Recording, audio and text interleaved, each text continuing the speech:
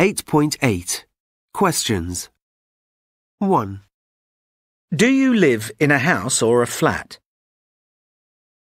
2, How many bedrooms are there? 3, Is there a TV in the bedroom? 4, Is there a PlayStation under the TV? 5, Are there a lot of books in your living room?